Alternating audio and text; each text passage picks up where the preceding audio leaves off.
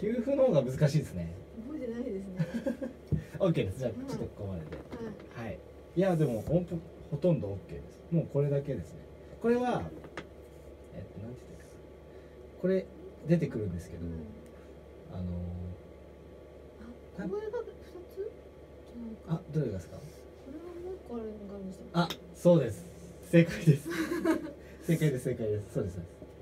音符のこれが2二つははいそうですそうです。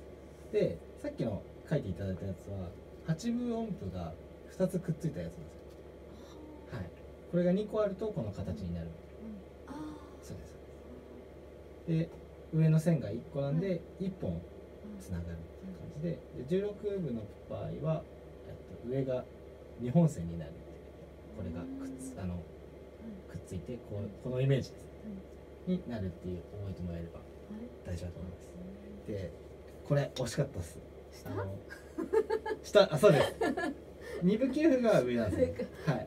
で全給付が下書いてもらえる OK です。でえっ、と四分音符。あ四分給付がさっき言ってたものです。